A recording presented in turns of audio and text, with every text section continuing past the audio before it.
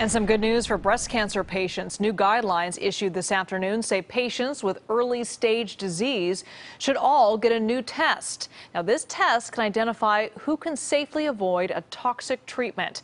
Veronica de la Cruz joins us with that story. Veronica? Yeah, Liz, many breast cancer patients undergo chemotherapy after surgery to avoid the risk of the cancer coming back. But now, a new test can tell whether or not women can skip the chemo. Nikki Durlester was diagnosed with early stage invasive breast cancer in 2009. She had surgery. Clinically, she should have gotten chemotherapy. Human nature is to throw everything in the kitchen sink at cancer. But her doctor examined Nikki's tumor with a new gene test called a MammaPrint. The test analyzes the molecular biology and not the stage of the cancer.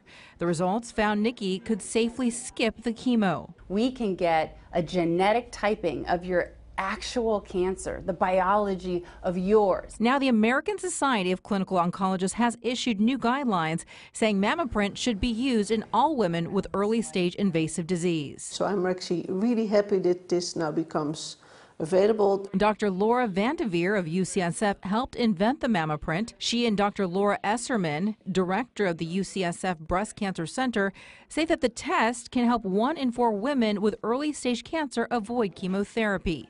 Now we have a tool that allows us to say, you know what, you have an extremely low risk for recurrence at all. So this cancer isn't going to kill you. You don't have to be so fearful. As for Nikki, she remains cancer free. I'm grateful that other women will have the, and men will have the same opportunity. Now, Dr. Esserman and her team just published a new study on the MammaPrint. It found women with ultra low risk breast cancer may safely skip therapies like tamoxifen, which is also routinely prescribed after surgery.